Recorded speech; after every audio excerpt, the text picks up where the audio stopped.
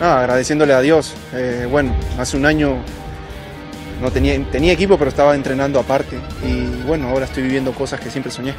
Los ojos del fútbol peruano están hoy por hoy encima de un solo nombre, Gustavo Alfonso Dulanto Sanguinetti, el zaguero central nacional que está haciendo historia con el Sheriff Tiraspol. En este video te contamos su historia, sus orígenes y su renacer futbolístico que lo llevó de ser un defensa desconocido a uno de los más pedidos para la selección peruana. Hace menos de dos meses escuchar el nombre de Gustavo Dolanto traía a la memoria aquel error garrafal que tuvo en el partido entre Real Garcilaso y Deportivo La Guaira por la Copa Libertadores del 2019. Un error que le costaría la clasificación al equipo cusqueño y desataría una ola de críticas para el defensa central. Este error nubló todo lo que Dulanto había conseguido hasta ese momento de su corta carrera. Había logrado jugar un torneo internacional con Universitario de Deportes, haber sido parte de uno de los mejores equipos en la historia de la Universidad Técnica de Cajamarca e incluso haber sido considerado por Ricardo Gareca para integrar la lista de convocados de la Copa América 2015. Sin embargo, el fútbol da revanchas y tras tres años de ser portada de una eliminación agónica, fue portada de un triunfo histórico que dejó boquiabierto al mundo del fútbol mundial. Gustavo Adolfo Dulando Sanguinetti nació en Lima el 9 de mayo de 1995 como hemos dicho, juega de defensa central y es hijo del exfutbolista y seleccionado nacional Alfonso Dulanto Corso. Dulanto inició su carrera como futbolista en el año 2000 en la Academia de Universitario de Deportes en Lima. En el 2007 pasó al equipo juvenil de la Universidad de San Martín de Porres y luego a la Academia de Fútbol Frama. Posteriormente, en el año 2009 regresó a la Universidad de San Martín, donde se mantuvo hasta el 2011, cuando viajó a Argentina para jugar en las filiales de Rosario Central. Allí convenció desde el primer instante y se quedó a vivir en la ciudad deportiva del conjunto canalla, donde estuvo durante tres años disputando torneos juveniles de la AFA, donde coincidió con Giovanni Lochelso, reciente campeón de la Copa América con Argentina, y Franco Servi, actual compañero de Renato Tapia en el Celta de Vigo. En septiembre del 2014 regresó al Club de sus Amores, Universitario de Deportes del Perú.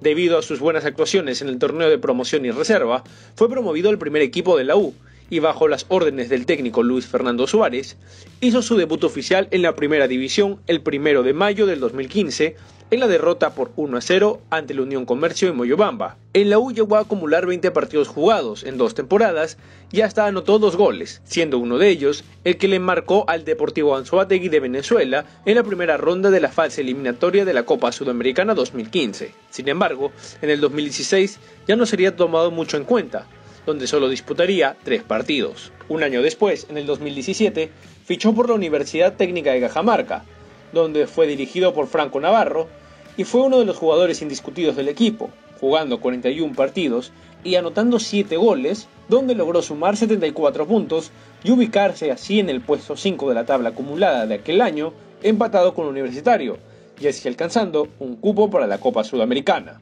Tras aquella buena temporada ficharía por Real Garcilaso, donde disputó 36 partidos y anotaría 2 goles. Allí disputó 6 partidos de la Copa Libertadores.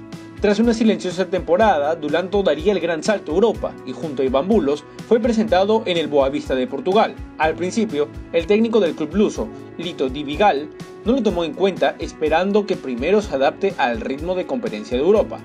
Recién debutó en la fecha 9 en el triunfo sobre el Sporting Braga, ingresando en los descuentos. En total, disputó 10 partidos en la temporada 2019-2020, donde anotó dos goles y recibió una tarjeta roja.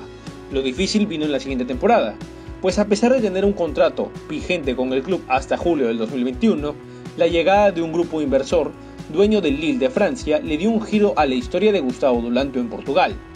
Llegaron 25 nuevos jugadores al Boavista y ni siquiera haber participado en la pretemporada, anotando un gol en la presentación del equipo, le sirvió para que las cosas cambien.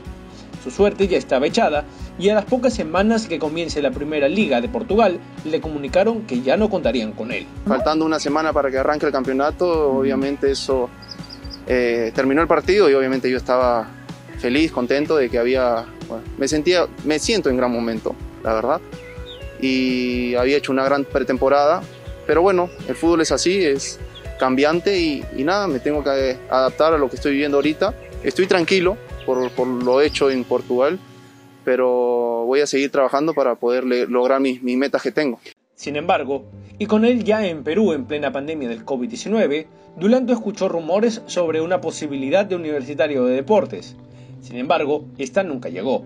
Fue así que en enero del 2021, la razón pudo más que el corazón, y Dulanto firmó por el modesto club del Sheriff FC Tiraspol de la primera división de Moldavia.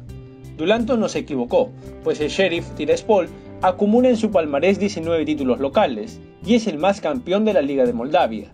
No le costó mucho seducir al técnico ucraniano Yuri Bernovdov y se hizo con el lugar del equipo titular hasta salir campeón en la temporada 2020-2021, convirtiéndose además en el único futbolista peruano en levantar un título en Europa en aquella temporada. El título le valió al Sheriff Tiraspol la posibilidad de disputar las rondas previas de ingresar a la fase de grupos de la Champions League. En la primera llave, vencieron al Teuta de Albania con un marcador global de 5 a 0.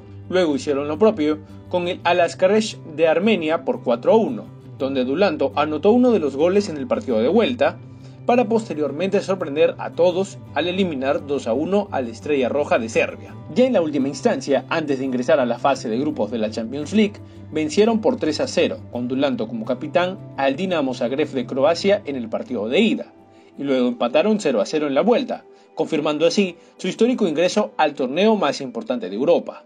Lo demás es historia conocida. Dulanto es uno de los líderes de un club que en sus primeros dos partidos en la historia de este torneo continental sumaron todos los puntos, incluso venciendo al poderoso Real Madrid en el mítico Santiago Bernabéu. Independientemente de cómo finalice el Sheriff en esta Champions, la historia ya fue escrita, con oro puro y el nombre de Gustavo Dulanto está en ella, alimentando así la legendaria frase de que en el fútbol 11 contra 11 todo puede pasar. Si te gustó este video, dale like, suscríbete a nuestro canal y activa el botón de notificaciones para recibir más acerca de nuestro contenido.